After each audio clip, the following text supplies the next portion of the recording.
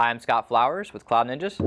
Today we're here to continue our series on the Dell PowerEdge R240 server. In this video we're going to specifically focus on network cards. Let's get going.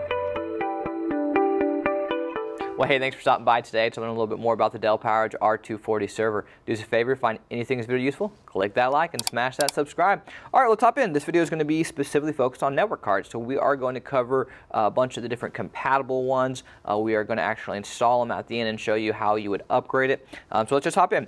The uh, R240 has a built-in dual port a 1 gigabit RJ45. So uh, for some people that is enough, but if you want to get uh, higher speeds, uh, more network ports or fiber connectivity, you are going to need to add in a PCIe network card. So unfortunately there are no daughter cards uh, for the R240 uh, for some of the uh, generations, and I mean even the 14th gen, some of the other servers, uh, there is a built-in slot where you can install a daughter card and you don't have to waste one of your PCIe slots. Uh, but for the R240, that is not an option, so you will have to use your PCIe slot. So what are some of the interfaces? Well, you can uh, install an RJ45, you can do an SFP, SFP Plus, SFP28, SF, QSFP, QSFP56. There's a bunch of different options uh, as far as the interfaces. Uh, some of the speeds, you can do 1 gigabit, you can do uh, 8 gigabit, 10 gigabit, uh, 16 gigabit, 25.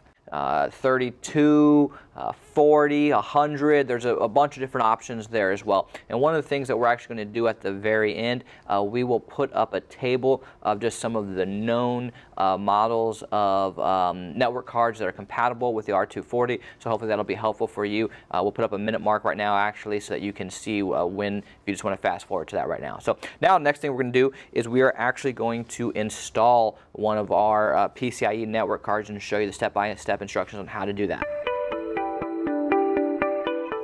All right, so now we are going to install our card. So first things first, you're just going to pop the latch and lift the top just like any Dell server you've been in before. So because my card is low profile, we're going to put it on this side over here. Uh, there's technically a low profile and a high profile option. So we're going to lift the blue. We're going to pull our riser straight up. And we are going to install it right here. So first thing I'm going to do is I'm actually going to remove the current bracket so that now we can install our new one. So just get everything lined up nice and perfect. Uh, one of the things to also note is, um, get this set up first, on the top right here, there is a black part that you have to line up while you're also lining up the, your card down at the bottom. And then the leads right there, so you got the one uh, up here here, and here. So there's four points where you kind of need to have it all perfectly lined up, okay?